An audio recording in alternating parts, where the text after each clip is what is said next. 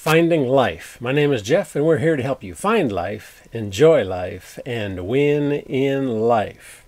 We are in episode number 40, and I've got a, a number of episodes that I've got um, designed and, and, ready for you, and so uh, an exciting topic. We want to talk about episode 40. This is Money Answers Everything.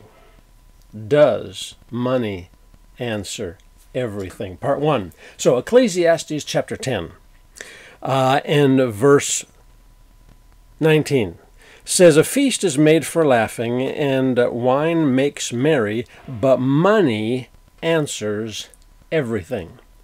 Money answers everything. Now, notice what it doesn't say. Scripture does not say, notice, it doesn't say that money is the answer to everything. What does it say? It says that money answers everything. Now, money is not the answer of everything. The devil would like to make us think and believe that money is the answer to everything, but but it's not. So, what's the answer? Who is the answer? Jesus is the answer. And God has given us his word and the Holy Spirit to help us know everything we need to know. So let's just uh, take a little bit of a rabbit trail in that direction and we'll pick up here, excuse me, next time. But uh, John chapter 14. John chapter 14. Jesus is the answer. And God has given us His Word and the Holy Spirit to help us know everything we need to know. Jesus is the answer to everything. John chapter 14, verse 26 says this But the Helper, the Holy Spirit, whom the Father will send in my name, he will teach you all things and bring to your remembrance all things that I said to you. He will teach us all things. He'll teach us everything we need to know to do and accomplish and to fulfill His will and His plan and our assignment on our lives. Uh, chapter 16. Chapter 16, verse 13. Chapter 16, verse 13 says this However, when he the holy this when he the spirit of truth has come he will guide you into all truth for he will not speak on his own authority but whatever he hears he will speak and he will tell you things to come. He will show you things to come. He will reveal to you things to come. This is what the Holy Spirit's been sent for, is to show us things to come. So that we're not caught off guard. But we are prepared. He shows us things to come. He teaches us all things. 1 John chapter 2. 1 John chapter 2 verse 20 says this but you have an anointing from the Holy One.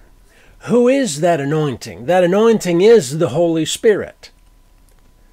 The anointing is the Holy Spirit. We have an anointing from the Holy One, from God, and He's the Holy Spirit, and you know all things. Everything we need to know, He shows, reveals, and teaches us. Chapter or verse 27. But the anointing which you have received from Him abides in you, he is the Holy Spirit. He abides in you. And you do not need anyone to teach you. But as the same anointing, the Holy Spirit, He teaches you concerning all things, say all things, all things, concerning all things, um, and is true and is not a lie. And just as He has taught you, you will abide in Him. So He says, we don't have to we don't have to look to people to teach us. Now, He will use, the Holy Spirit will use people.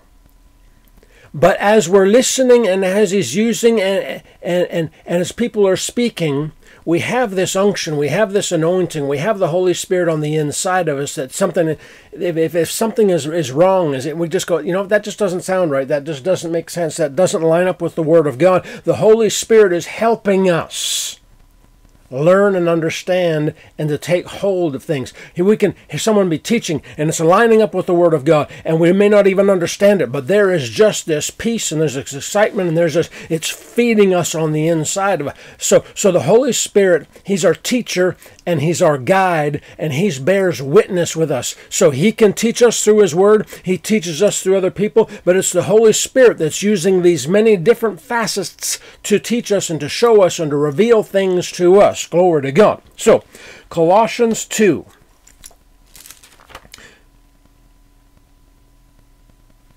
Colossians 2. 1 John 5:12 says Jesus is the is our answer. He that has the Son has life. let's just finish with this quickly. Colossians chapter 2 says this, verse verse 3, talking about in Christ, says in him are hid all the treasures of wisdom and knowledge.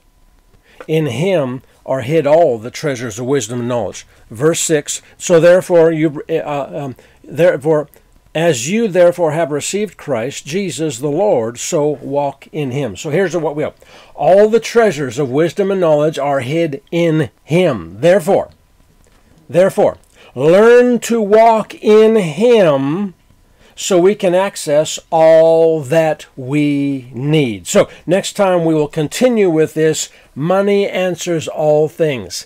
God bless, and we'll see you next time.